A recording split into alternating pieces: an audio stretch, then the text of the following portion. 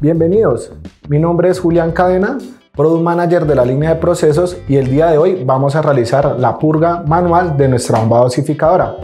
Para eso, ¿qué necesitamos? Necesitamos la válvula de pie, el respectivo inyector, nuestra bomba dosificadora, la manguera y nuestro reactivo al cual vamos a dosificar. A continuación, vamos a poner nuestra válvula de pie dentro de nuestro tanque reactivo.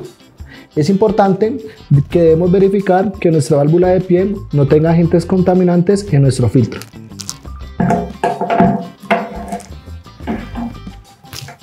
Puesto nuestra manguera dentro del tanque reactivo con la válvula de pie, el siguiente paso es adaptarlo a nuestro cabezal y encender nuestra bomba dosificadora para empezar a hacer el movimiento mecánico y así purgar nuestra bomba dosificadora de la mejor forma.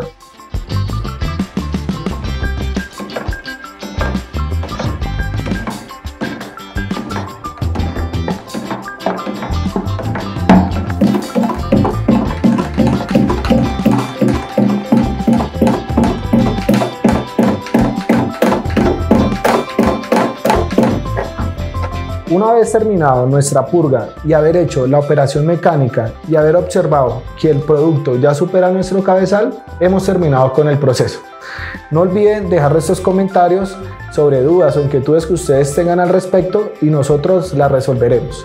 Igualmente, síguenos en nuestras redes sociales.